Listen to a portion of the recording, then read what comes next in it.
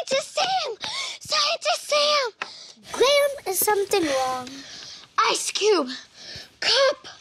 Poof. Water. Uh-huh. So you had an ice cube. You put it in the cup, and the ice cube turned into water?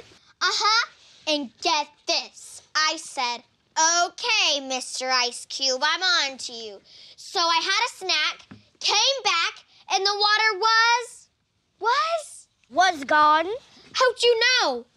Are you a magician? Nope, I'm just a normal scientist. And Graham, technically, the water didn't disappear. It just changed states of matter. States of what now? You're a dancer, right? You know it. Check this.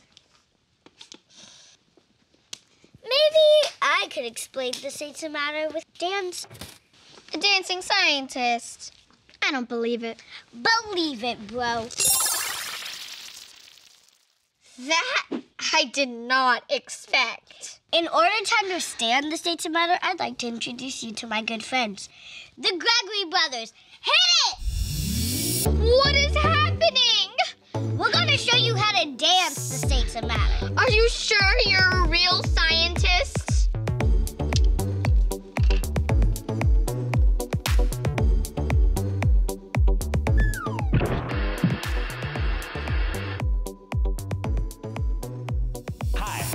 I'm liquid water.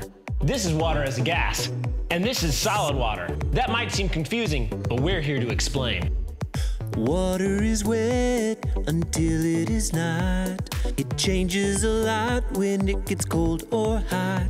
If you heat it up to 100 degrees, it evaporates into a cloud of steam. Let's dance like a gas would dance. When liquid turns into a gas, it spreads out all around as far as it can go, and it's invisible.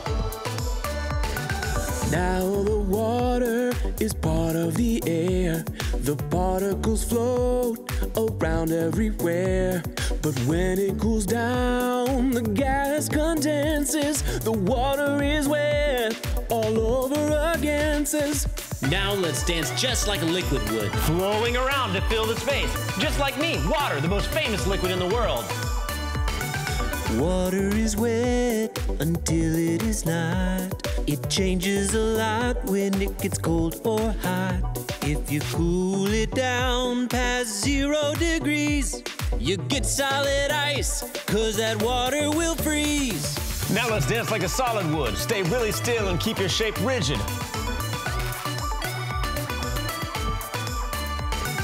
Now the water is solid ice. It can't change its shape or its size. Heat it up, then it will melt. And guess what? That water is wet. Now it's your turn. Stand up and sing and dance with us.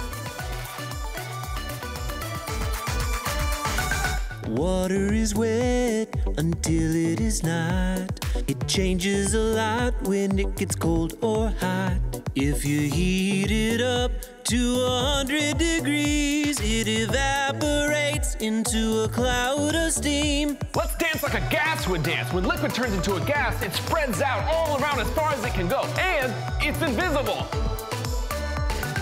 Now the water is part of the air. The particles float around everywhere.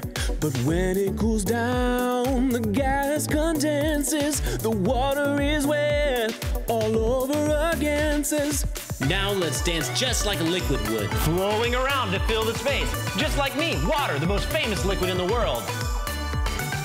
Water is wet until it is not. It changes a lot when it gets cold or hot. If you cool it down past zero degrees, you get solid ice, cause that water will freeze. Now let's dance like a solid would. Stay really still and keep your shape rigid. Now the water is solid ice. It can't change its shape or its size. Heat it up, then it will melt. And guess what? That water is wet. Now dance however you want to dance. flowing like a liquid, bouncing around like a gas, or rigid like a solid.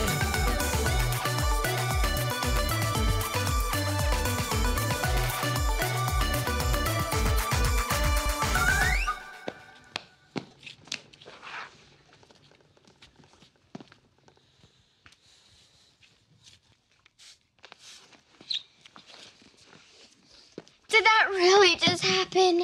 Now, my young scientists in training, let's review.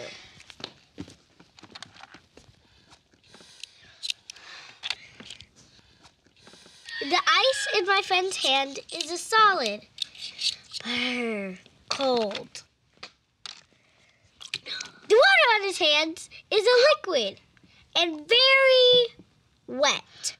And finally, that water vapor coming out is a gas. Now, take out your science observation sheets and write your observations with what happens in each set of pictures. How did ice become water? How did water become ice? And for our bonus, how did water become gas? What if they freeze up? Did it? Freeze? Oh, these are cold. Just think about the song we heard. That should do the trick. And when we come back, we'll show you just what happened. Water is wet until it is not. It changes a lot when it gets cold or hot. Okay, teacher, press pause now. We'll be back in a few minutes. Press pause, please.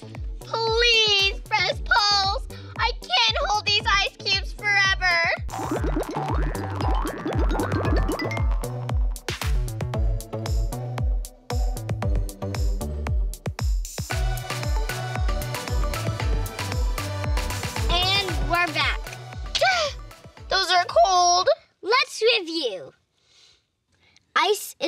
Solid, but when we add heat, it melts and turns into water. Water is a liquid, but when we cool it down to zero degrees Celsius, it freezes and turns into ice. Water is a liquid, but when it heats up to 100 degrees Celsius, it evaporates and turns into water vapor or gas. Did that answer all your questions? I guess so, but I still think you're a magician. Nope, I'm just your normal, everyday scientist. Just like my friends out there.